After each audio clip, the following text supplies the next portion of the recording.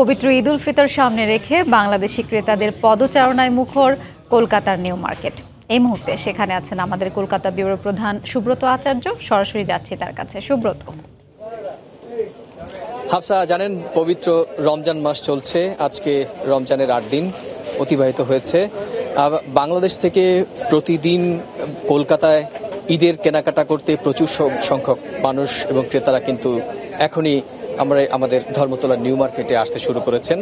আমি এখন দাঁড়িয়ে আছি নিউ মার্কেটের একটি স্বনামধন্য দোকানে।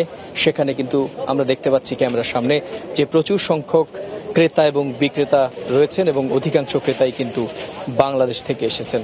আমরা এমন একজন বাংলাদেশি ক্রেতার সঙ্গে কথা বলব। তিনি বাংলাদেশ থেকে ঢাকা থাকেন তার সঙ্গে কথা বলব।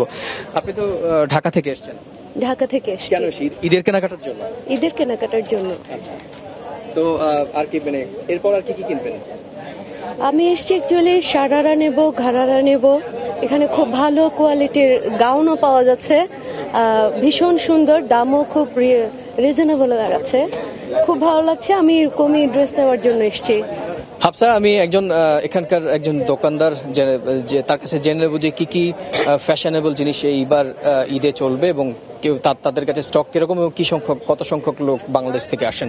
তো এখানে কত সংখ্যক কত সংখ্যক লোক আসেন? এখানে কত দোকান? দেড়শো দুশো জন বাংলাদেশি কাস্টমার এখানে আমাদের কাছে। তারা কি চান এসে? এখানে এসে ঘাগরা সারারা অ্যান্ড গাউন চান এখন আমাদের ফার্স্টে আছে এটা দেখুন আপনি এটা আছে বুটিক স্টাইল স্যুট আছে।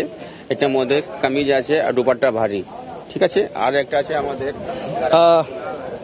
হাফসা যে এখন এই মুহূর্তে ঈদের ফ্যাশন চলছে সারা ঘাগরা সারারা সারারা চলছে। তো এই ছিল আমার কাছে ঈদের বাজারে কলকাতা দিক থেকে সর্বশেষ তথ্য। হাফসা।